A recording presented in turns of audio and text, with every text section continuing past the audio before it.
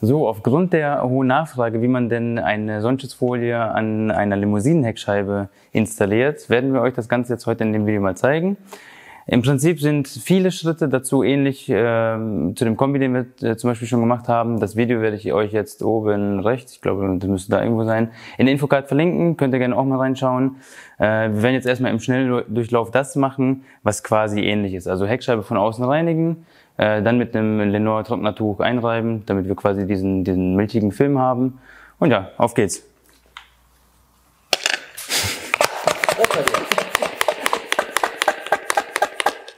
Was benutzt du dafür denn jetzt? Dafür einfach Montageflüssigkeit, spielt aber keine Rolle, kann man Reiniger nehmen. Geht einfach nur darum, dass da keine Körnchen und so drauf sind, dass man quasi die Folie beim Rakeln nicht kaputt macht. Also egal ob Reiniger oder Montageflüssigkeit oder Glasreiniger, kannst du nehmen, was du willst. Man könnte sogar von außen auch mit einem Kupferlappen reinigen, weil man öfter auch mal so festsetzenden Schmutz hat, den man dann unter der Folie merkt. Aber ich mache das jetzt schon ein paar Jahre so. Wenn man da ein bisschen vorsichtig ist und die Augen offen hält, dann geht das immer. Warum sollte man das jetzt nicht einfach mit einem Lappen abziehen? Kann man theoretisch auch tun. Ich finde es aber mit einem Abzieher viel angenehmer. Von außen spielt das keine so große Rolle, von innen dann aber umso mehr. So, wie gesagt, ich habe ja die Tücher in dem letzten Video schon gezeigt. Das sind Lenore Trocknertücher, das heißt, sie kommen eigentlich in den Trockner. Da sprühe ich jetzt hier mit dem Reiniger, also mit dem Dirt-Off Wassergemisch, die Scheibe ein. Einfach nur deswegen, wenn man es mit einem Film oder mit einem Verlegemittel machen würde, äh, schäumt das halt sehr. Und dann, das ist irgendwie ein bisschen komisch. Deswegen habe ich mir angewöhnt, das mit dem Reiniger zu machen. Der trocknet auch ein bisschen schneller. Gut, bei den Temperaturen spielt das absolut keine Rolle. Aber wenn wir wieder so 15 bis 20 Grad haben, dann merkt man das doch schon. Hier einfach darauf achten, dass man wirklich einen, einen leichten milchigen Film hat. Also ich klopfe das Tuch immer quasi so ein bisschen aus. Könnte aber sein, dass wir sogar ein neues nehmen müssen, weil mit dem Tuch habe ich schon eine Tesla-Heckscheibe gemacht, also Tesla Model 3. Und die ist ja so gigantisch, ich weiß nicht, ob da in dem Tuch überhaupt noch genug äh, Talkum und so drin ist. Sieht ganz danach aus, aber gucken wir mal.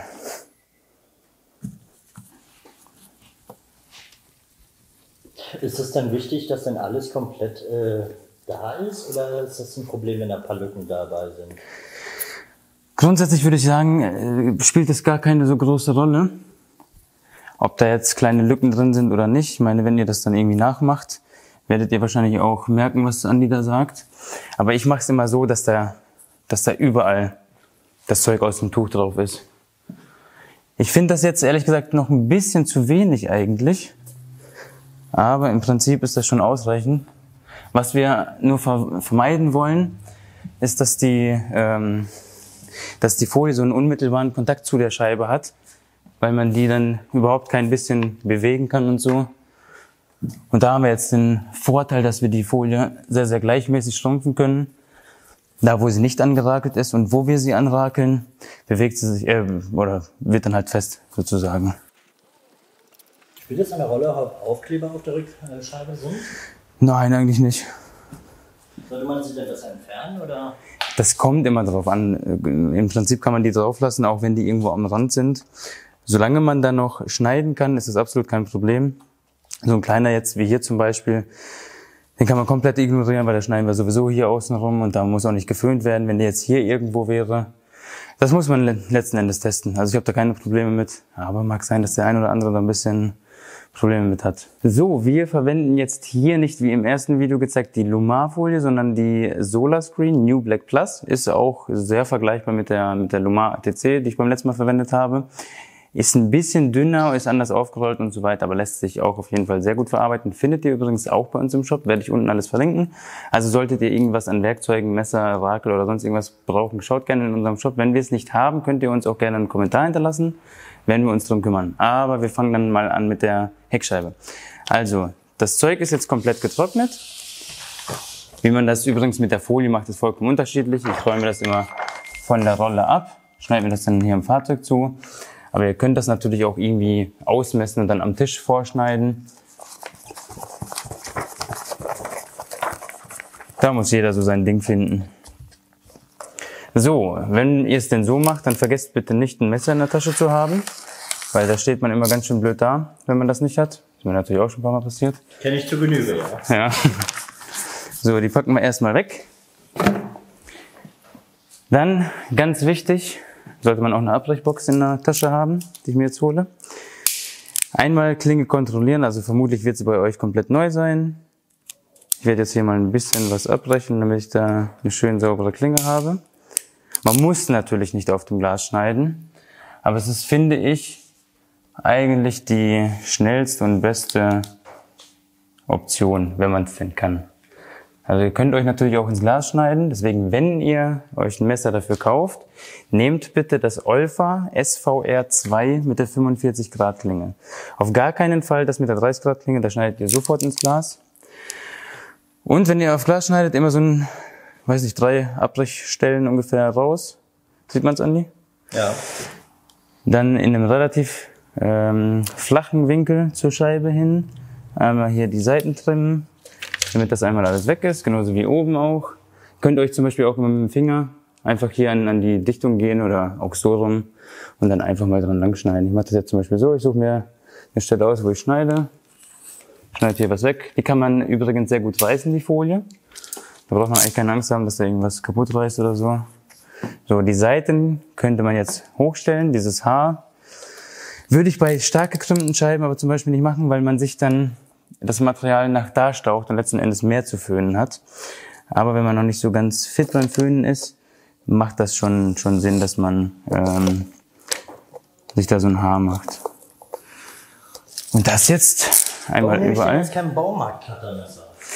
Weil die Baumarkt-Cuttermesser die Eigenschaft haben, Stahlklingen äh, zu haben sozusagen. Und mit einer Stahlklinge wird das Ganze wahrscheinlich fürchterlich schief gehen und man hat schöne Kratzer hinter in der Scheibe.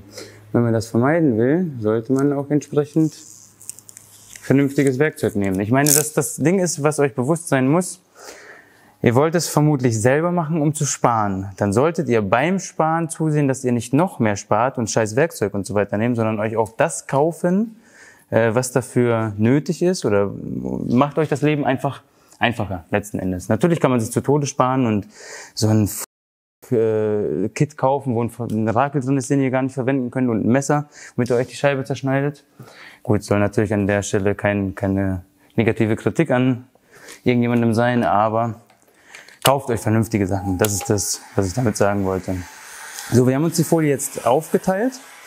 Wir können die Folie immer nur oben und unten schrumpfen, hat damit zu tun, die Folie wird bei der Herstellung in Herstellungslinie sozusagen oder in Laufrichtung der Folie unter Spannung gesetzt, also ein bisschen auseinandergezogen. Und das Stück, was da, was da auf Spannung oder bespannt wurde, das können wir jetzt quasi zurückschrumpfen. So, aber wie gesagt, der Teil ist dann wieder gleich mit dem, mit dem anderen. Aber Andi kann das jetzt auch gerne mal zeigen, weil ich beim letzten Mal leider vergessen habe, die Aufnahme an der zweiten Kamera zu starten. Und somit hat mir die Aufnahme da gefehlt. Äh, noch ein kleiner Tipp zu der Temperatur. Grundsätzlich ist es eigentlich vollkommen egal, wie heiß der Föhn ist. Da gibt äh, mehrere Möglichkeiten, wie ihr die, die Hitze kontrollieren könnt. Zum einen Abstand Föhn zu äh, Scheibe oder zu Folie besser gesagt. Je näher ihr da dran seid, desto schneller bekommt ihr da Hitze. Und halt über die Geschwindigkeit, wie ihr den Föhn bewegt. Das Ding ist halt, ich kann jetzt zum Beispiel auch so rübergehen, ohne dass die Folie verbrenne. Man könnte aber auch, wenn man sich noch nicht ganz so sicher ist, den Föhn einfach ein bisschen weiter weghalten und mal gucken, was mit der Folie passiert. Aber wenn man das schon ein paar tausend Mal gemacht hat, dann geht das irgendwann. Hat man bei den Nasen noch was zu beachten, wenn man das jetzt äh, runterrakelt? Ähm, Kann man da jetzt einfach so drüber gehen? theoretisch, wenn man es vernünftig geföhnt hat, kann man da einfach rübergehen. Das Ding ist halt, äh, fühl mal kurz hier so eine Nase, was, sieht man das? Ja. Ähm, wenn ihr jetzt hier die, die Spitze habt und anfangt zu föhnen, fangt nicht hier an zu föhnen. Das mag sich jetzt fürchterlich banal anhören, aber Andi spricht da auch aus Erfahrung, beziehungsweise wir nehmen die hier mal. Nicht hier anfangen zu föhnen und das Material hier überstehen lassen, sondern auch tatsächlich hier anfangen zu föhnen und dann nach unten zu gehen. Also so quasi.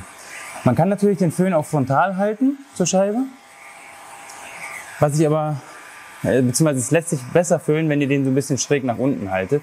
Und da müsst ihr dann halt darauf achten, dass ihr halt an der richtigen Stelle. Ja, das, das meiste hört sich sehr banal an und sehr einfach. Aber spätestens, wenn ihr dann anfangt, das mal zu probieren, werdet ihr feststellen, dass das alles gar nicht so einfach ist.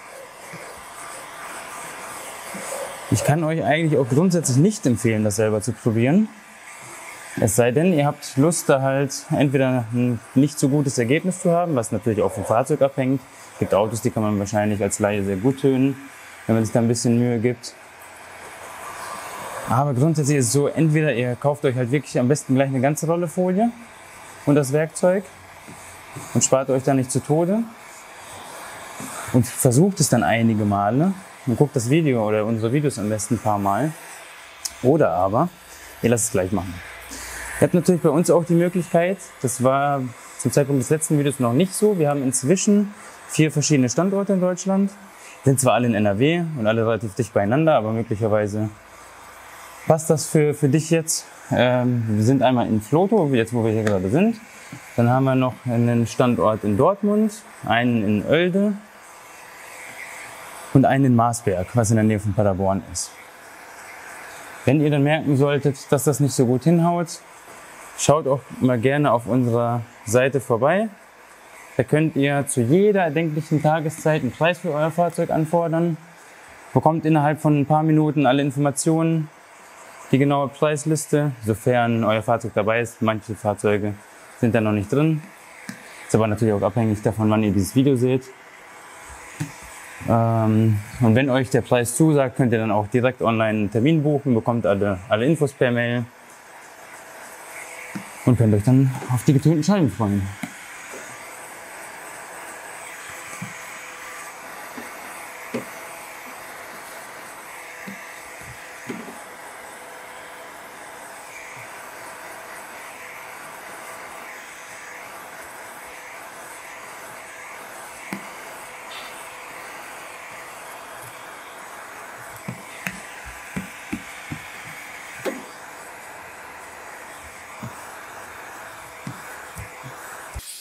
Dann wechsle ich nochmal die Seite. Das ist übrigens im Hochsommer, also wir haben heute den 13.8. Unheimlich heiß bei uns in der Halle.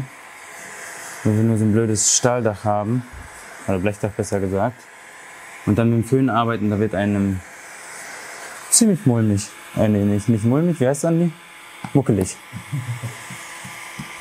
Das wird ziemlich muckelig, ja. Aber auch wieder zu warm zum Kuscheln. Ja, und wie? Das kannst du jetzt zum Beispiel nochmal föhnen. Äh, föhnen, filmen. Wie gesagt, man kann natürlich auch relativ langsam da lang gehen. Man muss halt immer nur gucken, was macht die Folie jetzt genau. Ihr seht, hier brauche ich jetzt zum Beispiel eigentlich gar nicht mehr nachrakeln. Das Rakeln ist übrigens auch nur dafür gut, dass man das kontrolliert, wo man denn noch föhnen muss und so weiter. Wenn du jetzt hier so, so eine Stelle zum Beispiel hast, die würde ich jetzt nicht nach oben schieben, sondern hier so zur Seite. Du siehst, dass sich hier so ein bisschen was anhebt. Da kann man auch kurz mal drüber gehen und das dann quasi so zur Seite ziehen. Oder wie hier. Ja, das ist gerade ein bisschen schwer mit der linken Hand. Gibt halt auch viele, viele Handgriffe, die man ein bisschen schwer erklären kann, finde ich, bei dieser Arbeit. Da braucht man letzten Endes einfach das Gefühl für. Aber ihr seht auch die New Black Plus, die ja ziemlich günstig ist, lässt sich extrem gut verarbeiten oder extrem gut föhnen. Und hat sogar eine Haltbarkeit von bis zu zehn Jahren. Oder was heißt bis zu zehn? Eine Garantie von, von zehn Jahren. Also könnt ihr auch ruhigen Gewissens kaufen. So, jetzt kommen wir wieder zum Schneiden der Folie. Die habe ich im letzten Video, glaube ich, schon empfohlen. Ist wirklich extrem gut. Also wenn ihr vorhabt, das öfter zu machen, kauft euch die Lampe. Kostet, kostet zwar 50, 60 Euro oder so, aber die ist wirklich wert. Zum einen habt ihr kein, kein äh, nerviges Kabel und zum anderen ist die echt super hell. Werdet jetzt, glaube ich, hoffentlich mal merken, was ich meine. Habt jetzt einfach mal auf die Hutablage gestellt. Klinge habe ich schon abgebrochen. Fange jetzt einfach mal hier an zu schneiden. Ich schneide so anderthalb Millimeter ungefähr größer, würde ich mal behaupten. Ist aber immer abhängig davon, wie viel Platz ihr im Inneren habt. Habt ihr viel Platz, könnt ihr auch größer schneiden. Habt ihr wenig Platz, müsst ihr natürlich kleiner schneiden. So, hier komme ich nicht ganz drum herum, die Klinge ein bisschen spitzer zu halten. Aber ich hoffe, man sieht, wie viel Licht diese Lampe macht, oder Andi? Ja. Und jetzt zum Beispiel hier auch die 85C, die hat eine Abdunklung von 88 Prozent. Also ist quasi tiefschwarz. Tut sich nicht viel zur 95er. Ähm, und da sieht man das trotzdem ziemlich gut.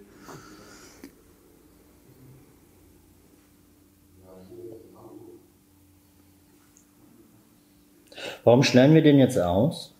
Warum können wir das nicht einfach komplett drüber schieben? Weil das ja irgendwie nicht geht. Wohin willst du schieben? Meine, hinter, den, hinter dem schwarzen Rand des Scheibenkleber. Und dementsprechend kannst du da nirgends, das nirgendwo hinschieben. Jetzt müssen wir die Lampe noch einmal umstellen.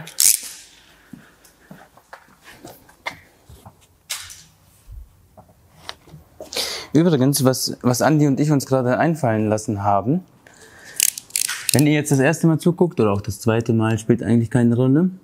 Überlegt euch mal, ob ihr uns nicht abonnieren wollt, weil wir werden demnächst so eine Art Podcast ins Leben rufen, wo wir auf alle möglichen Probleme, Werkzeuge und so weiter und so fort vom Scheibentönen eingehen werden. Das heißt, wie geht man mit diesen Dachkantenspoilern um, die jetzt die meisten Autos haben, wo man an den oberen Rand nicht mehr kommt? Welche Werkzeuge gibt es für welchen Einsatzzweck? Und so weiter und so fort.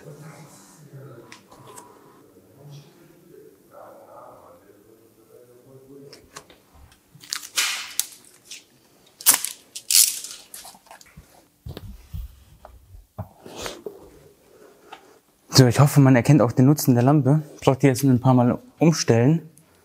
Okay, jetzt ein bisschen weiter in Richtung Mitte drehen sollen und nicht so in die Lampe gucken sollen, weil ich sehe jetzt nicht mehr viel. Ich habe einen weißen Fleck vor den Augen, aber geht irgendwie. Ich hoffe, ich schneide richtig. Ich sehe echt gar nichts. Wieso habe ich in die Lampe geguckt? Siehst du schon das Licht am Ende des Tunnels? ja. Leider schon.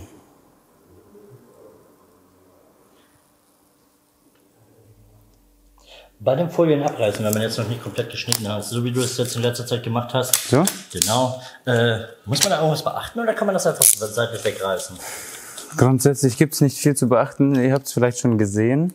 Wenn ich reiße, dann reiße ich nicht einfach so nach oben, sondern ich versuche die Folie immer, wenn sie jetzt quasi hier noch dran ist, so abzureißen. Also von, von der Stelle weg, die ihr noch braucht. Okay. Hier kann man zum Beispiel zeigen. Wenn jetzt, es gehen zwei Wege. Ich könnte jetzt zum einen hier ziehen oder halt auch so rum. Ihr dürft halt nur nicht nach oben oder so reißen. Aber die, die lässt sich zu, äh, ziemlich geil abreißen, wenn man es denn braucht. Man kann es natürlich auch alles dran lassen und hinterher alles abmachen, aber ich reiß mir die mal ab, dann sehe ich immer sofort, bis wohin ich geschnitten habe. Braucht da nicht irgendwie nochmal gucken. Der schießt, der schießt ab, nur wenn du die Beifahrertür aufmachst. Jetzt geht's. Jetzt okay. Ich weiß nicht warum. Und übrigens muss man das natürlich nicht so hundertprozentig machen wie ich. Meine, diesen Schnitt sieht man hinterher nicht, weil er hinter dem Siebdruckrand verschwindet. Aber ich habe mir angewöhnt, das möglichst sauber zu machen. bei manchen Autos, bei manchen Scheiben sieht man den Schnitt halt doch. So, nächster Schritt. Lampe wieder aus. Energiesparmodus. Mhm. Nee, die wird jetzt auch stören. Deswegen hänge ich die wieder hier an der Wand. Nächster Schritt. Ich nehme mir jetzt die Montageflüssigkeit und einen Abzieher. Und weil wir die gleich aufrollen, behalten wir den Liner, also die Schutzfolie erstmal. Und dementsprechend möchte ich jetzt auf dieser Seite so wenig Schmutz wie möglich haben. Deswegen ziehe ich mir das hier einmal ab. Warum ist es für dich einfacher, es einfach äh, aufzurollen, statt es einfach an einer großen Scheibe dran zu machen? Weil die Handhabung dann sehr schwer wird. Ich meine, vielleicht weiß der ein oder andere ja, so eine Tönungsfolie besteht halt nicht aus weichem PVC, sondern aus hartem Polyester oder PET. Und wenn man die knickt, oder das, das Material ist generell nicht so, wie soll man es denn nennen? Es verzeiht nicht viel. Also wenn du da Knicke reinmachst, dann ist das schon, schon blöd. Ich meine, man kann sie rausbekommen, man kann sie rausarbeiten. Dafür muss man aber wissen, wie. Und letzten Endes, wenn man dann, ich meine, du kannst mich, ja mal kurz zeigen, wenn du dann die Folie irgendwie so hast und dann da irgendwie reingehst, ich meine, guck mal, selbst, selbst hier kommst du ja schon irgendwie äh, in Schwierigkeiten. Wie gehst du jetzt rein? Und wenn ich da so eine, so eine aufgerollte Folie habe, ist es um einiges einfacher. So. Äh, das Film-On, was wir benutzen, und das Dirt Off kriegt ihr auch bei uns im Shop. Auf dem Film-On-Fläschchen steht immer drei bis sechs Milliliter pro Liter Wasser, ist aber stark abhängig von den Temperaturen. In der, weiß nicht, in, im Frühjahr, Herbst, Winter machen wir so vier bis, bis sechs Spritzer rein. Und wenn wir solche Temperaturen wie jetzt im Moment haben, also das ist diese, diese schlimme heiße Zeit, wie gesagt, je nachdem, wann ihr das Video seht, äh, machen wir schon 10, 11 Spritzer rein, damit wir einfach ein bisschen die Möglichkeit haben, die Folie zu, zu verschieben noch. Ja, von außen wieder befeuchten und dann irgendwie, am besten lasst euch einen Fingernagel überstehen, weil das wird sonst absolute Katastrophe. Ich habe mir die, glaube gestern erst geschnitten oder so. Und jetzt habe ich hier Probleme, die, die Folie auseinander zu bekommen. Da gibt es auch mehrere Techniken, kann man zum Beispiel mal mit den Zähnen trennen. Aber eine Heckscheibe ist das jetzt ein bisschen blöd. Da haben die Zähne an der Heckscheibe rumzuknabbern, ist halt ein bisschen Ja, ich, ich könnte die, die Folie ja hochnehmen. So, jetzt habe ich es aber langsam. So, jetzt haben wir es langsam. Ich hoffe, man hört unsere Nachbarn hier nicht im Hintergrund. Warum ist es wichtig, jetzt auch nochmal unter der Schutzfolie ordentlich zu lassen? Ja, ich glaube, das kannst du selber beantworten, oder? Natürlich kann ich es selber beantworten. Ja, dann, dann mach mal. Obwohl, dich hört man wahrscheinlich nicht so gut. Naja, die Folien werden nass geklebt. Und dementsprechend brauchen wir Kleber, äh, nee, brauchen wir Wasser auf dem Kleber. Warum sollte man jetzt die Folie nicht einfach äh, schon vorher komplett abnehmen und dann äh, einfach schon reinkleben? Ne? Weil du dann viel zu viel Schmutz auf dem Kleber hast letzten Endes. so, jetzt müsst ihr euch Gedanken machen, von wo ihr anfangen wollt, von innen abzurollen. Ich mache das mal von links. Ich halte die, die Rolle mit der linken Hand und äh, rolle mit der rechten ab. Das heißt, ich rolle sie mir jetzt hier andersherum auf. Einfach die Folie ein bisschen anheben. Und am besten möglichst eng aufrollen. Ist auch vollkommen Geschmackssache, also gibt es kein richtig und falsch. Aber ich rolle das immer möglichst eng auf. Braucht auch ein bisschen Übung, bis man das hinbekommt. Übrigens, zugeschnittene Folie kaufen macht keinen Sinn. Ihr habt eben gesehen, die, dieses, die Schwierigkeit bestand gar nicht darin, die Folie zu schneiden, meiner Meinung nach. Das kann jeder anders sehen. Sondern im Föhnen. Und wenn ihr da jetzt eine Folie habt, die schon zugeschnitten ist, bringt euch das leider herzlich wenig, weil ihr sie noch föhnen müsst. Obwohl es da auch vorgeföhnte Folien gibt, aber die sind dann halt schweineteuer, kosten so ein Set, keine Ahnung, 180 Euro, 150 Euro oder so. Und dann kommt noch die Schwierigkeit dazu, die Scheibe richtig oder die Scheiben richtig zu reinigen. Dementsprechend kauft euch lieber Meterware oder gleich eine ganze Rolle und macht das dann damit. So, hier sind wir erstmal fertig. Jetzt hole ich erstmal dieses, diesen milchigen Film darunter. So, um noch einmal kurz aufs Werkzeug einzugehen, weil wir hier jetzt äh, anderes Werkzeug benutzen als bei einem Kombi. Wichtig dabei ist, dass ihr so einen Bulldozer habt. Ohne den geht es gar nicht. Kommt natürlich aufs Auto an. Manchmal kommt man noch mit dem Slammer hin. Aber ich würde immer empfehlen, einen Bulldozer zu kaufen. Kostet, glaube ich, auf Amazon 16 Euro oder irgendwie sowas. Also als erstes brauchen wir was zur Reinigung. Hier haben wir ein Scrubhead. Das ist halt wie so ein, so ein Kunststoffschwamm, ein bisschen härter. Damit kann man schon mal gröbere Verschmutzungen lösen. Wenn auf der Scheibe wirklich sehr, sehr fest sitzender Schmutz ist, empfiehlt sich ein Kupferlappen. Das Geile an so einem Lappen ist halt, er hinterlässt keine Kratzer, aber nimmt halt sehr viel Schmutz mit. Dann einen Abzieher, den habe ich glaube ich im letzten Video auch schon gezeigt, weiß ich aber nicht genau. Den kann man halt so knicken. Werdet ihr gleich sehen, wofür man das braucht oder wofür das sinnvoll ist. Den Kollegen hier, der Stroke Doctor ist der, glaube ich, der ist äh, absolut, äh, den braucht man eigentlich nicht. Ich habe den nur gekauft zum, zum Testen, aber ich benutze den eigentlich nie.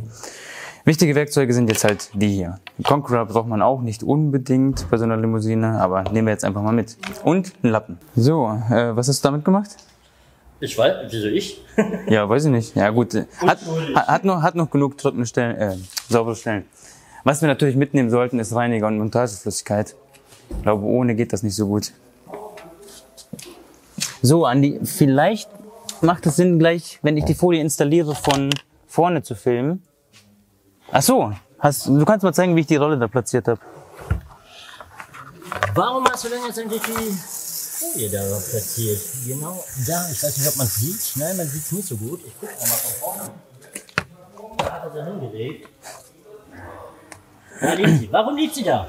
Na, damit ich da gleich rankomme. Letzten Endes.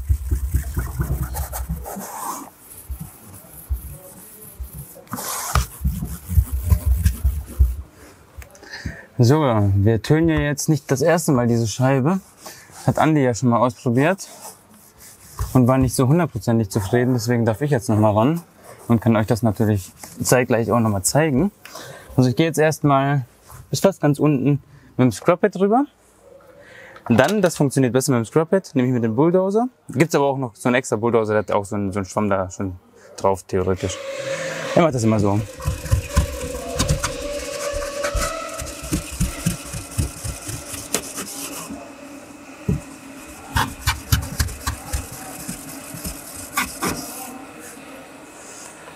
Jetzt fange ich mit dem Abzieher an, von oben abzuziehen.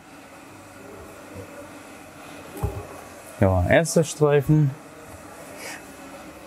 Und der zweite. Und jetzt, sieht man das, Andi? Ja, er wird mich sowieso nicht hören. Knicke ich den ab, nehme den so in die Hand und kann dann damit hier wunderbar bis fast ganz unten abziehen ist halt, wenn man darauf achten möchte, möglichst wenig Schmutz zu haben, wirklich das Effektivste. So ganz bis nach unten komme ich nicht, spielt auch keine Rolle. Jetzt nehme ich mir den Bulldozer wieder und schiebe das restliche Wasser mit dem Schmutz einfach nach unten.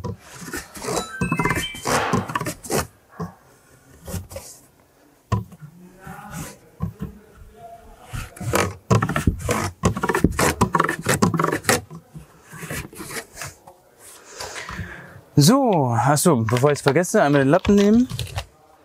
Ist auch keine, keine Pflicht. Der ist jetzt halt auch nie gemacht. Einmal die Ränder sauber machen. So wie es halt geht.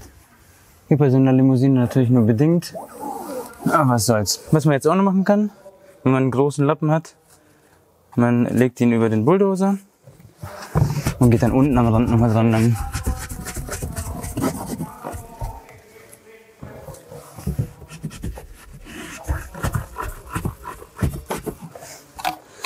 So, jetzt kommt der ganze Trick an der Geschichte. Andi, willst du mal rumkommen? Natürlich. Wundert euch nicht, wir müssen die Heckscheibe jetzt so ein bisschen fluten. Ihr habt ja gesehen, ich kann nicht komplett bis unten abziehen. Also der Bereich, wo ich nicht abziehen kann, den spüle ich jetzt einmal ab, damit da wirklich jeglicher Schmutz weg ist.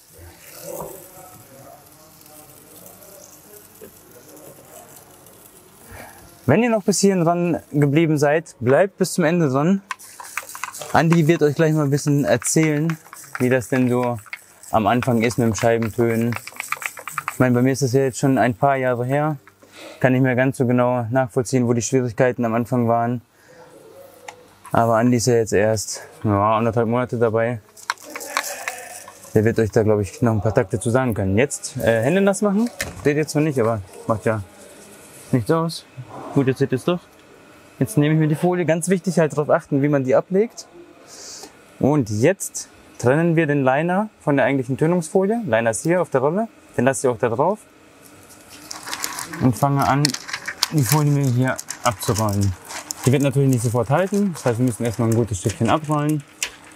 Nach Möglichkeit aufpassen, dass man hier nirgendwo gegen die Verkleidung kommt. Hier ist ein zweiter Mann immer von Vorteil, der die Folie halten kann. Aber muss Andi jetzt nicht unbedingt machen, geht natürlich auch alleine. Und spätestens jetzt bei den Temperaturen kann ich nie unterscheiden, ob das Schweiß an meinen Armen ist oder Montageflüssigkeit. Gibt dann noch eine andere Möglichkeit, indem man sich den Liner in der Mitte teilt. Ist vielleicht auch ein bisschen cooler. Kenne ich schon ewig, die Technik habe ich nie ausprobiert. Weiß ich nicht, kommt so eigentlich auch ganz gut klar. Vielleicht wäre das Ergebnis noch ein bisschen besser.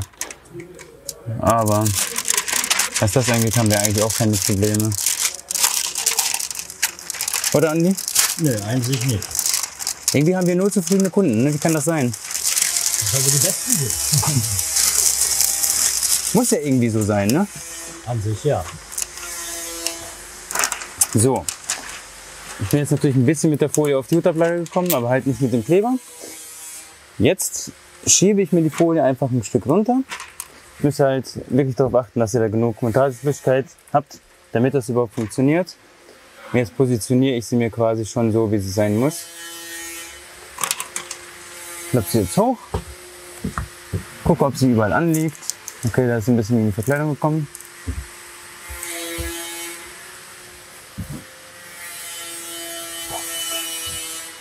So. Fertig. Ah, fertig ist die Do-it-yourself-Scheibe. Jetzt einfach, einfach trocknen lassen, dann sieht's perfekt aus. Nein, natürlich nicht.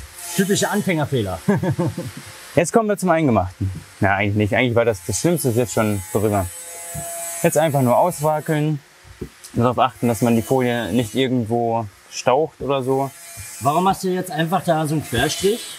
Na, um die Folie so auf, aufzuteilen, wie sie von außen auch auflag. Wir haben ja von außen auch so angefangen, dass ich erst von der Mitte aus, ähm, oder ich habe hab die quasi in der Mitte glatt gezogen. Und das gleiche mache ich jetzt von hier innen auch. Gibt, gibt da unterschiedliche Wege, wie man das machen kann. Ich kann natürlich auch mit so einem Kreuz arbeiten oder plus besser gesagt. Oder was auch immer. Aber wieso kann man jetzt nicht einfach ganz normal mit dem Rakel von unten nach oben einfach arbeiten? Kann man. Aber, Aber nix, kann man. aber nix. Naja, ich mache das halt so, weil ich mir so angewöhnt habe. Man kann halt auch so. Man muss ja sowieso gleich machen mit dem Bulldozer. Das spielt eigentlich keine Rolle. Das ist halt so bequemer an der Scheibe. So, Was mit den Heizdrähten? Muss man da auf irgendwas achten oder? nee. Jetzt ein bisschen nass machen. Jetzt kommt der Bulldozer wieder ins Spiel. Sieht man eigentlich noch genug von der, von der, vom also Licht? Ich, ich komme mal von der anderen Seite rein.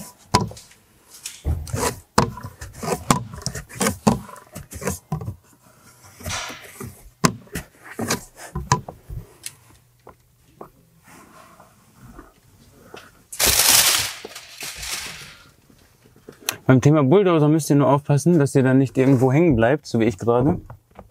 Oh, bin hängen geblieben. Ähm, gerade hier bei dem E39 ist das mit der Ecke da im dritten Bremslicht ein bisschen scheiße. Nach Möglichkeit immer nicht nach oben einfach ziehen, sondern erstmal so, dass ihr den wieder ein bisschen freier bewegen könnt. So, und theoretisch war das schon die ganze Magie. Jetzt gehe ich nochmal mit dem Blumex drüber, damit ich möglichst viel Wasser da rausnehme. Und dann sind wir theoretisch schon fast fertig. Ja, wieso macht das Sinn, mit dem Blumex nochmal rüber zu gehen? Was man oft nicht sieht, oder gerade als Anfänger oft nicht sieht, ist, dass man irgendwo Wasser überstehen lässt. Und wenn man sich jetzt die ganze Scheibe oder die ganze Folie nochmal nass macht und dann überall dann nochmal lang geht, wo Wasser ist, kann man sich eigentlich echt sicher sein, dass das Wasser überall raus ist. Deswegen unbedingt Blumex benutzen. Kann man natürlich auch mit einem normalen Rakel machen, aber ist nicht so angenehm wie mit dem Blumex. Hier das zum Beispiel, bin mir nicht ganz sicher, ob ich das jetzt komplett bis unten anrakel. Ne, so ein bisschen lasse ich über. Gehe ich mit dem Bulldozer gleich nochmal lang. So.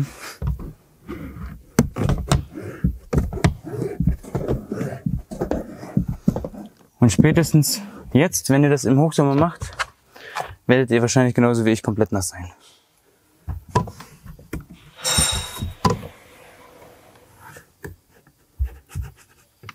Das meine ich zum Beispiel. Jetzt bin ich an der Ecke hängen geblieben und ziehe mir den so zur Seite.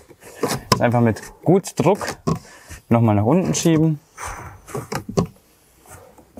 Wie gesagt, bei den Heizrippen braucht ihr absolut keine, keine Angst haben. Da passiert eigentlich nichts. Höchstens beim Demontieren der Folie, wenn die Heizritte ein bisschen schlecht verarbeitet sind. Kann natürlich auch mal vorkommen.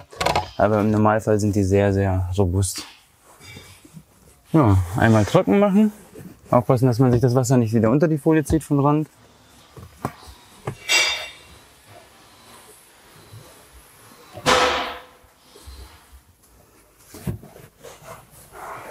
So, Andi, willst du mal von außen zeigen, was wir da gemacht haben? Natürlich. Ich weiß zwar selber nicht, noch nicht, ob es gut ist oder nicht. Aber schauen wir doch mal. Okay, hier ist noch ein bisschen Wasser. Das können wir jetzt gleich mit dem Slammer rausholen. Fokussiert er überhaupt? Fokussiert er, ja. Da müssen wir noch Wasser rausholen. Hier den Punkterand, den würde ich erstmal so lassen. Man kann natürlich jetzt mit dem Slammer auch nochmal dran lang gehen, aber da wird sich nicht mehr viel tun. Das würde ich lieber erstmal antrocknen lassen und dann hinterher Wenn es ein bisschen getrocknet ist, nochmal noch mal nachdrücken.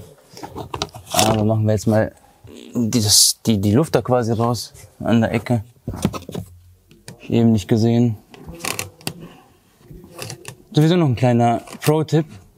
Wenn ihr eine Scheibe fertig habt, kontrolliert die sehr gut. Besser als wenn ihr da irgendwie eine halbe Stunde eine andere Scheibe macht oder eine Stunde.